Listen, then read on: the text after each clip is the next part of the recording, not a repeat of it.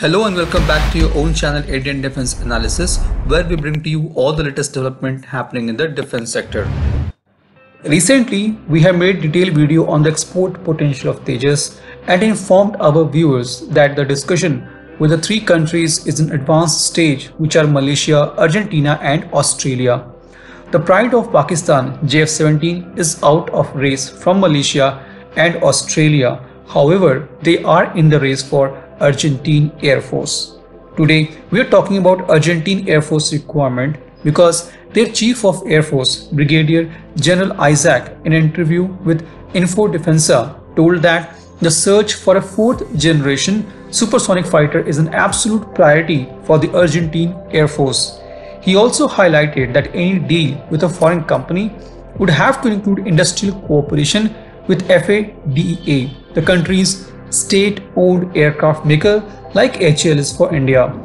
Isaac said this would involve offset agreements which would mandate the chosen foreign supplier invest a portion of the contract value in the customer country.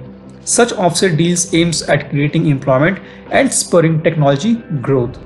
Isaac also told that Argentine Air Force have received offers for supply of JF-17 from China and MiG-29 and MiG-35 from Russia.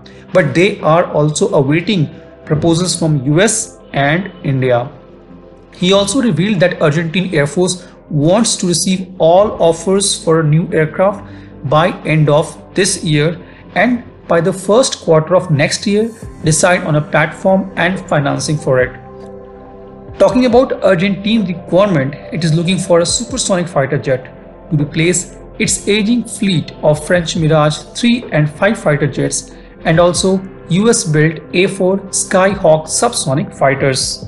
Argentina's defense minister has set aside 664 million in its budget document to procure fighter jets for its air force. However, Pakistan started its propaganda of twisting the facts.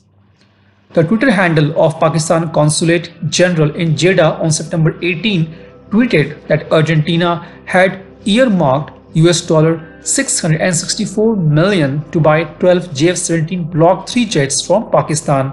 The Argentine Ministry of Defense has to officially deny this request and stated that no fighter aircraft of any origin had been shortlisted and the process is in the technical, economic and financial evolution stage of five alternatives.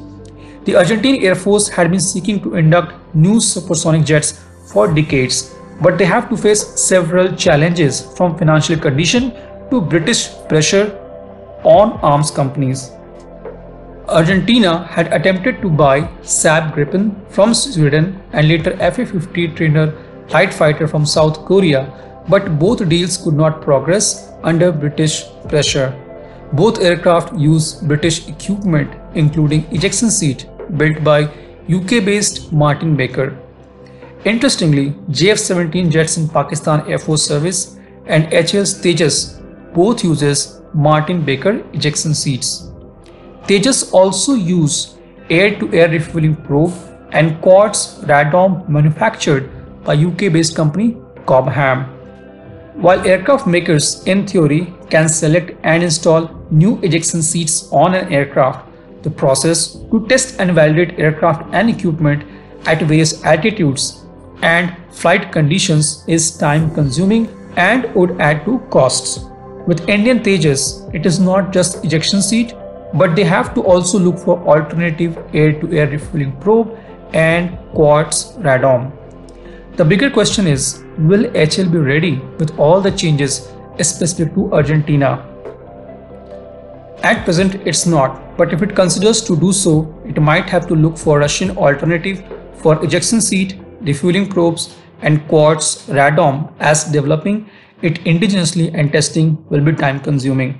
If India has to make Tejas an export success, they have to either get British in agreement for Argentina deal or replace them with indigenous component and as a stopgap arrangement use the Russian components. This was today's update. Please let us know what is your views about these in comment section.